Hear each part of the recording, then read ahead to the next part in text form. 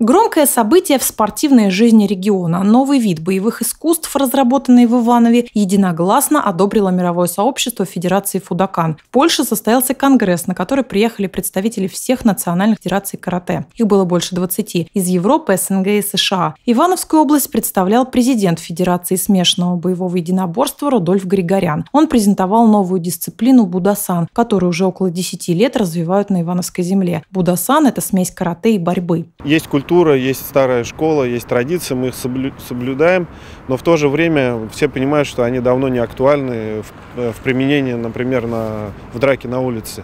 Оно хорошо для тела, для души.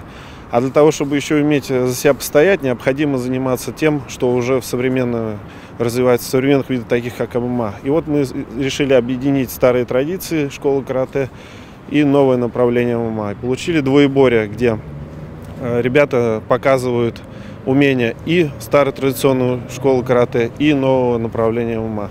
Для состязаний любого уровня разработаны особые правила, вполне наглядные и доступные. По мнению спортсменов, новый вид боевых искусств легко приживется. Модель рабочая, поэтому ездить в каждый клуб мира и обучать тренеров и инструкторов не нужно будет. Хватит видеоматериалов. Несколько стран, в том числе Германия, Сербия и Румыния, уже дали свое согласие на включение дисциплины Будасан в свои соревнования. На ближайшем чемпионате мира очень хотелось бы, что, чтобы первая золотая медаль досталась именно нашим спортсменам, хотя уже некоторые страны заявили, что готовы родоначальников победить. Этот успех для Ивановской области можно считать грандиозным, но, отмечает Рудольф Григорян, это не конечный результат, а промежуточный. Впереди много работы. Новый вид дисциплины будет презентован на ближайшем чемпионате мира по фудакан-карате, который состоится в ноябре в Германии.